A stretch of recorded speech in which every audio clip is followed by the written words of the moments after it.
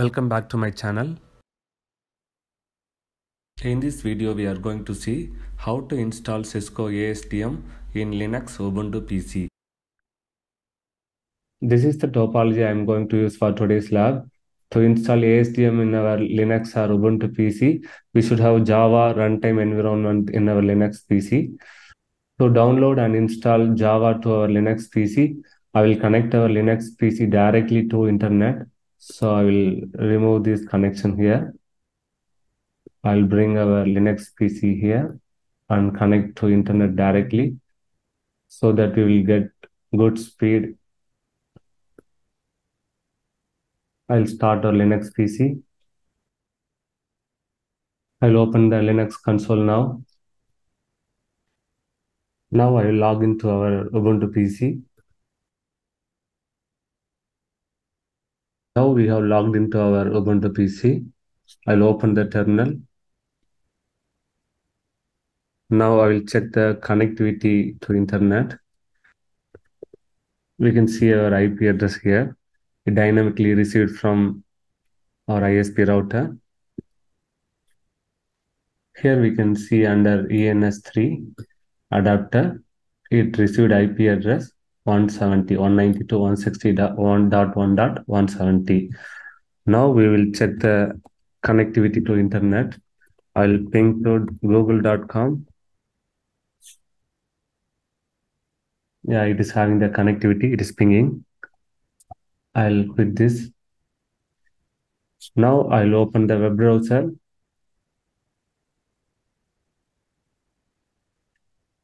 I'll search for download Java.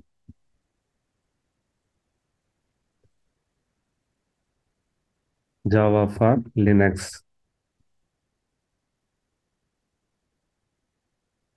I'll click the first link.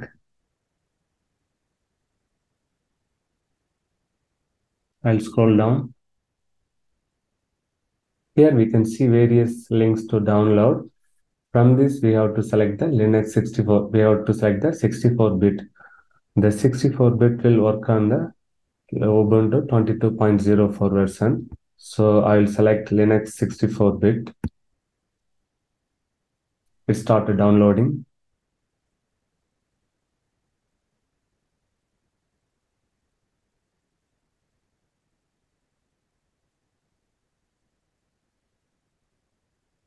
Downloading is completed. I will go back to terminal. I'll go to the downloads directory.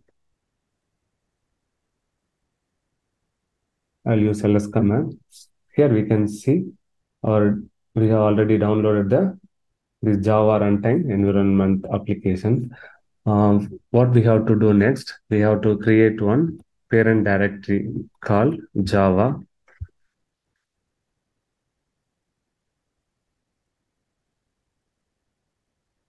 In the home directory itself, we are creating the Java folder.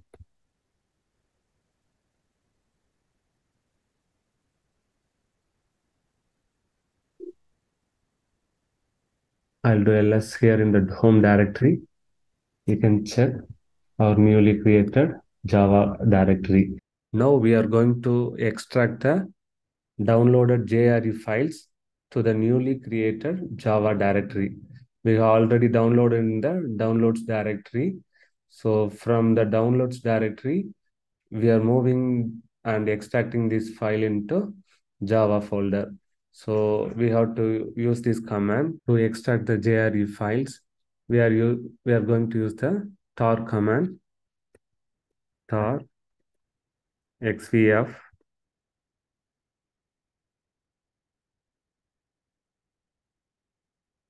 from the download directory. This JRE file and we are going to move into we are going to move this file into the Java directory we have created in the home directory. Click enter. Now it is extracting. Now the Java files are extracted into the Java directory. So I'll go to the Java directory now. We can check now. I'll use the ls command. Here we can see the file is extracted into our Java directory. To launch or run ASDM, we need Java Web Start application. This Java Web Start application is inside this JRE folder. We can check that now. I'll go into that JRE folder. Inside we have bin directory. Inside this bin directory, I'll do ls. We can see here we are having that Java Web Start. Java Web Start application is inside. Now within the terminal, we have to run the Java Web Start application and point it to the management URL of our Cisco ASA. Now I am going to remove this Ubuntu PC from direct internet connection and I will directly connect it to the switch and the switch will connect it to the Cisco ASA. So I'll use sudo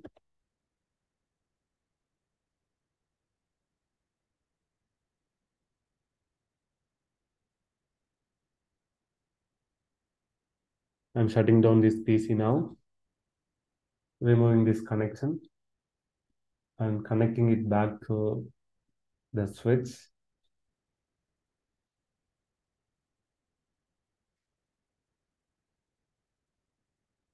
And now I will turn on all the three devices, Linux PC and switch and ASA firewall. I'll start all nodes. Now all the three devices are started.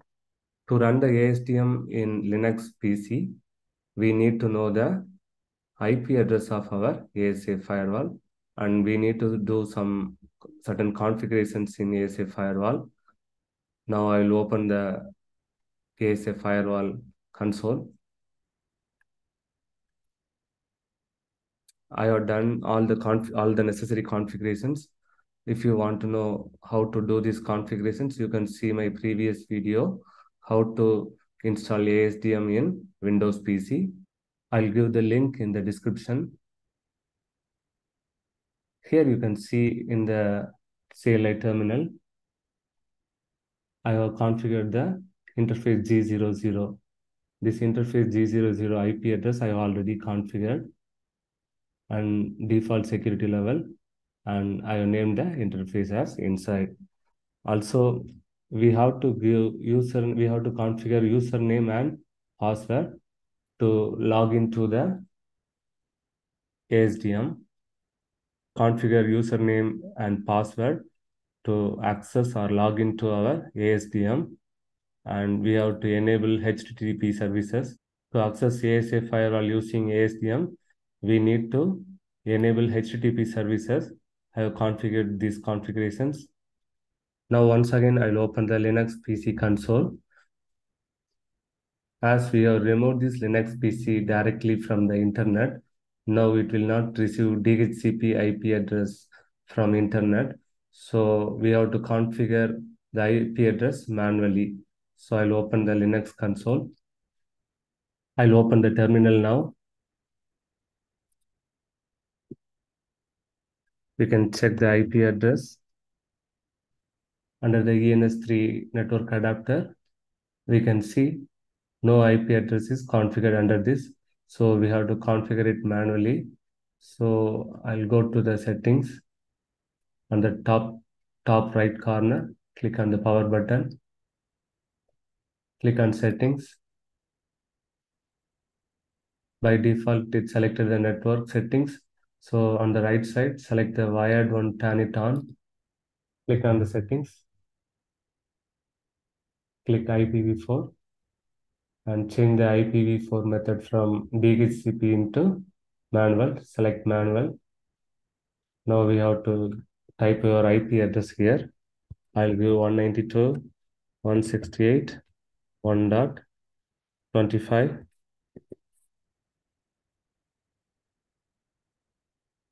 subnet mask 255 255 255.0 and gateway I'll give the IP address of our ASA firewall 192.168.1.10 and click apply I'll close this. Now once again we will check the IP address whether it is configured correct. Now we can check under ENS3 we have IP address 192.168.1.25 now we will check the connectivity from our Linux PC to ASA firewall. I'll ping to ASA firewall IP address 192.168.1.10 it is pinging successfully.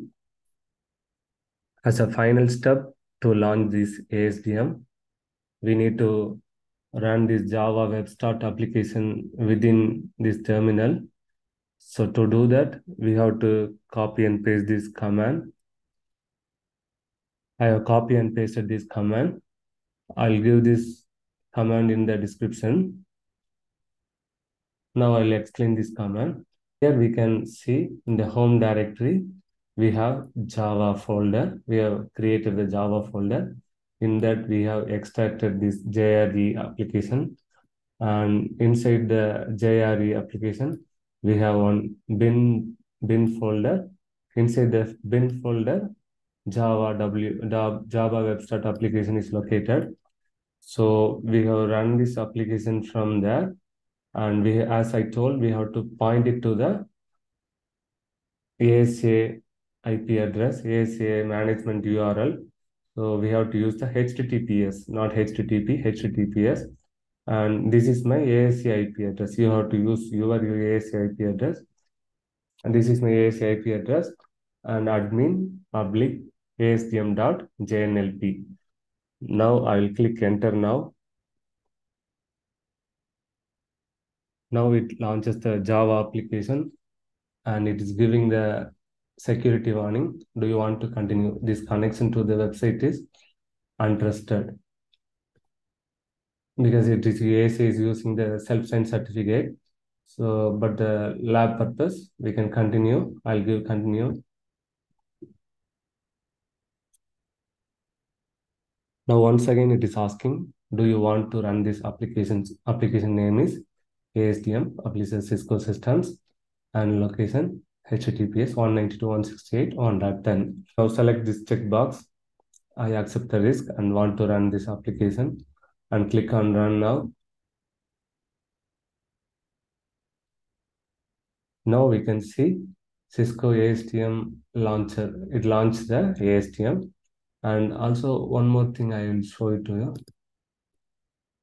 Here we can see it created the desktop application for ASDM.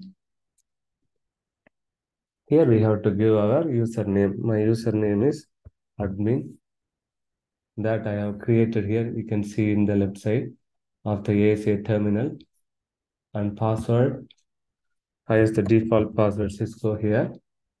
I'll I'll click on this checkbox here to remember this username and password and click OK now. Now it is getting updated software from ASA. It will take some time.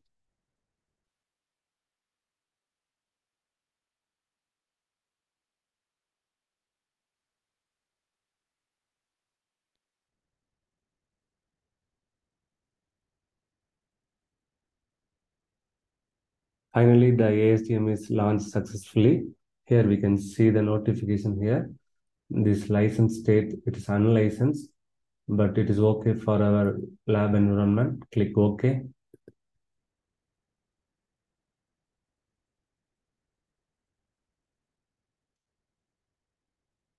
This is the dashboard of cisco asdm under this home tab you can see the device information interface status and vpn summary failover status like that. And we have other tabs also like configuration on the top you can see configuration monitoring and save other details under the configuration tab you can see it is further divided into five sections one is device setup firewall remote access VPN, site-to-site VPN, and device management. The first section is device setup. Uh, in that you can see startup wizard. We can click on the launch startup wizard. When you launch startup wizard, this window will open. Here you can do all the necessary configurations. In my previous video, how to install ASDM in ASDM for Windows. In that video, I have explained how to do these configurations. If you want to know how to do this, you can refer that video. I'll give the link in the description. Here you can do all the necessary configurations. I'll close this ASDM now. Click yes. Next time, if you want to launch ASDM, you can launch it directly from the desktop app. But before launching that, you have to copy this shortcut and right click and paste it on the desktop again. This one you can delete. Now I will right click on this shortcut and here you have to click on allow launching. When you click on allow launching, this icon will be changed into the clear ASDM. This you can differentiate and identify from here. You can double click here. It will launch it from here.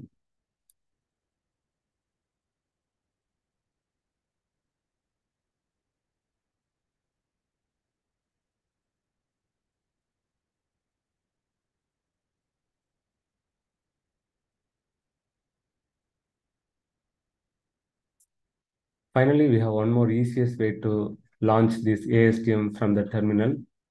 I'll open the terminal now. Earlier, we have used this big command to launch ASDM. Instead of typing this big command, we can save this, we can store this uh, command as a function inside the dot bash rc file. So I already saved this command as a function in the text editor. I will copy it from here. Now from the terminal using nano editor, I will open the .bash rc file using sudo.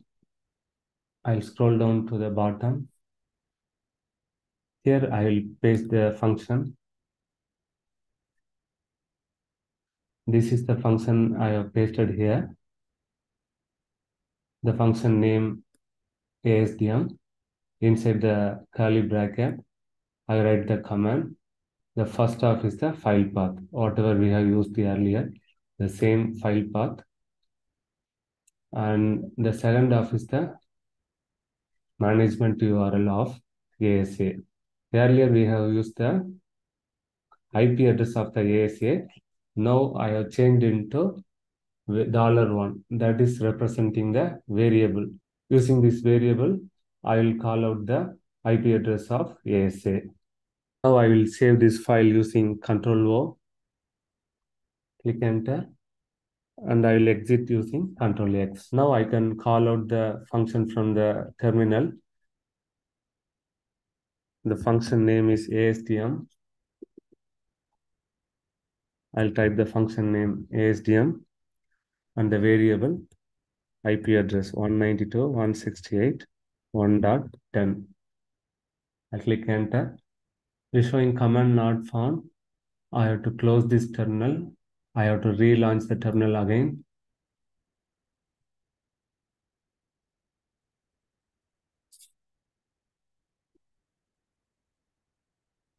ASDM 192.168.1.10. Now it opened the function as usual. It is verifying the application. This is how we have to install ASDM inside any Linux or Ubuntu PC. Thank you for watching. If you like this video, please subscribe to my channel.